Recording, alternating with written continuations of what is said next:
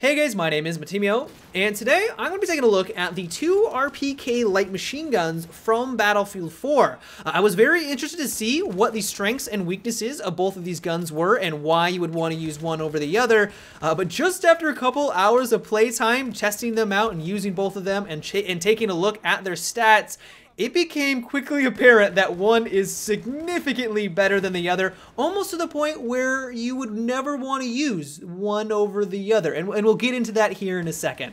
And so to start things off, they both have a very slow rounds per minute. They both clock in at 600 RPM, and so this basically solidifies their role as long-range light machine guns. You can use these up close and personal. They will sometimes get the job done, but you, if you go against someone who knows what they're doing and they have a reasonably high rounds per minute weapon, or they're using something like the FAMAS or the AEK, you're just simply not going to win those firefights. And so you're, you're going to want to play the medium and long game when you're using both of the RPKs. Uh, as for their damage model, it's pretty standard. They're both going to do 25 damage per shot up close, and then that's going to drop off to 18 at long range. Uh, but where we start to see a little bit of deviation is when we take a look at their recoil patterns. Uh, the RPK 74M has a vertical of 0.28, which is very, very low, and then a left kick of 0.25 and a right of 0 but the RPK-12 has even better recoil numbers. Its vertical is only 0.3, which is a little bit higher, uh, higher than the 74M, but it's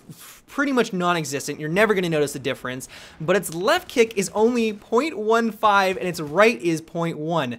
These, both of these weapons have almost no recoil at all, but the RPK-12 has None. Like, it is crazy. This weapon is a laser beam, and it basically, once again, just solidifies their role as long-range weapons. And so if you're able to take advantage of its recoil, which is very easy, or you're just someone who doesn't want to deal with recoil at all, and you don't mind playing at a distance, the RPKs are phenomenal weapons. Like when I was playing on Rush or I knew was I was playing on maps with long range engagements, I was dominating people at a distance and it's simply because they have almost no recoil, they have a slow rounds per minute so it becomes very manageable and you can just dominate people at those distances. Uh, the 74M does win out in the, the first shot recoil numbers though. It's got a first shot of 0.75 while the RPK-12 has a 1.6 first shot.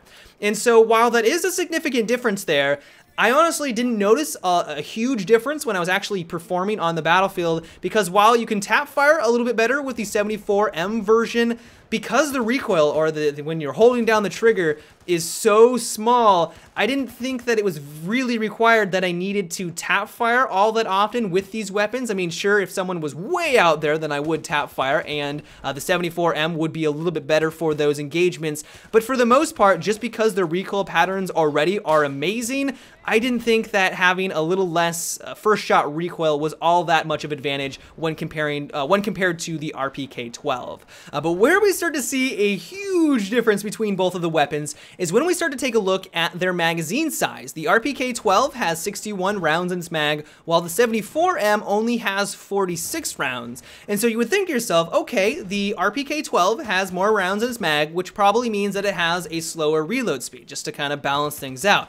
But that's not the case at all. The RPK-12 has a short reload time of 2.4 seconds, which is very, very fast, and then a long reload time of 3.5 seconds. Uh, as for the 74M, it has a short of 3.6 seconds, while the long reload time is going to take you a staggering 4.5 seconds to go through the entire animation. So the short reload time of the 74M is the long of the RPK-12. That is a huge difference. And so I honestly, after looking at all of the stats and using the weapons themselves, while the RPK-74M does have a better first shot recoil, all of the other stats are in favor of the RPK-12. And so when using them and looking at the stats, I honestly can never, at least not in good conscience, recommend using the RPK-74M over the RPK-12. Like there is literally no reason why you would ever want to use it. It's got a faster reload time, it has more rounds in its magazine, it's got an amazing recoil pattern. There's just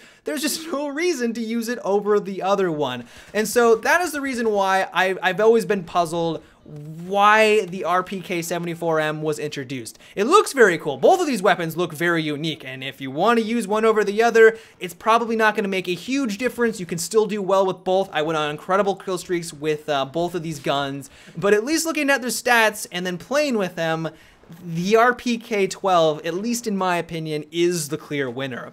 Uh, and so if you want to use both of these weapons, I highly recommend you play on maps where you know you're going to have a lot of long range combat. And honestly, I was having a lot of success when I was playing on defensive rush because you know where the enemy's going to be coming from. You can put yourself into a position where you can lock down long corridors, you can lock down, or you know there's going to be a lot of uh, long range engagements. And because everyone's pretty much coming from one angle, you're not going to have a whole lot of surprises. People aren't just going to whip around at the at the last second around the corner, catching you by surprise. And while that still does happen on Rush, because you know where the action's coming from, it doesn't happen as often if you're playing on like something like Domination or Conquest.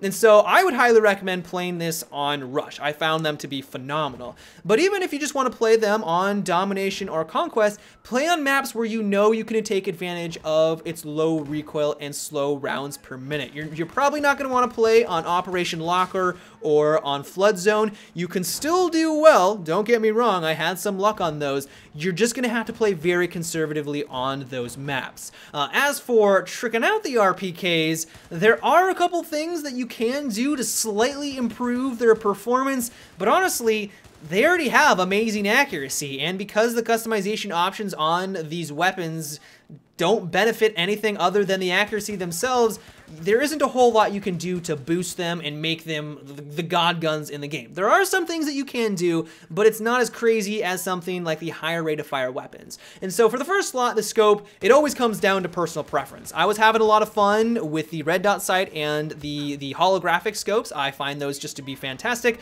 But if you want to use something like the ACOG scope or the higher optics, go for it. These are long range weapons and that is exactly what they're made for. Uh, the accessory slot, I would say pretty much go whatever you're comfortable with. I know a lot of people like to use the magnifier because it makes them a little bit more effective at long range.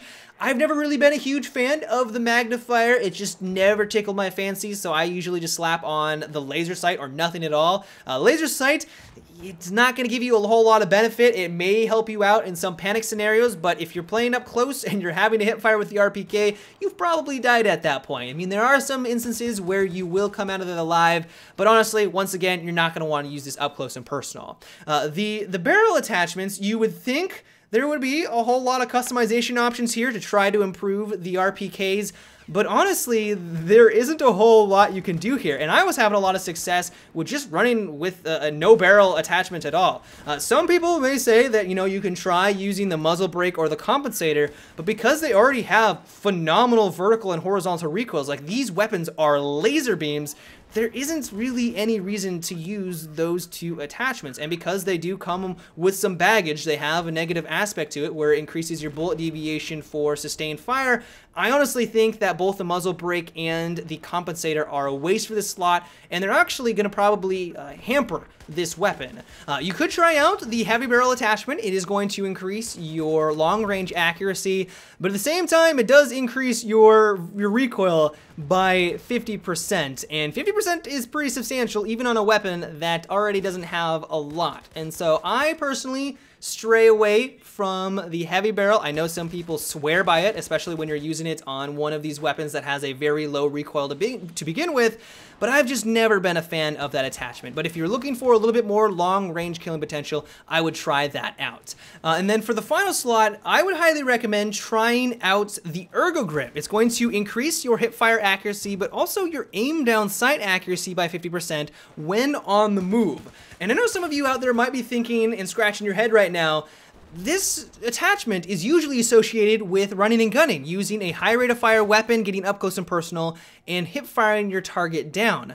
But because it also increases your accuracy when you're on the move, because this is a light machine gun, and there are a lot of instances where you can't be standing still and you want to be moving and shooting at the same time, this is perfect for the RPK. Normally when you want to take out a target and you want to have pinpoint-like accuracy, you should be standing still. Once you start to to move, you're going to have more bullet deviation. Your bullets are going to be flying all over the place. And so if you're someone like me who likes to move around a lot when aiming down sight and taking shots at your target, the ergo grip is just simply fantastic.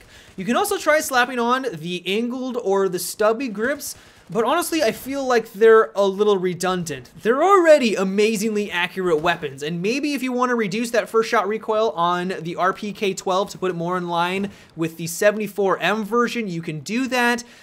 I, I, just find that because they already have such amazing uh, recoil patterns, they're extremely accurate, I find those to be a little redundant, and so at least for me, I think that the Ergo Grip is the best pick here. Uh, and so overall, both of these weapons are fantastic long-range light machine guns, but after using them for a while and looking at the stats themselves, in my humble opinion, the RPK-12 is the clear winner here. It's got more rounds in its magazine, it's got a way faster reload time, all the other stats are basically identical, and so as long as you don't mind dealing with slightly more first shot recoil, then I would just stick with the RPK-12. Uh, but that is about it for today's review of the RPKs in Battlefield 4. I hope you enjoyed. Uh, let me know what you think of both of these weapons. Do you love them? Do you hate them? I know some people completely avoid them like the plague, but others find them to be one of the best weapons in the game. Let me know down below in the comment section. Uh, but until tomorrow, guys, have a good one and take it easy.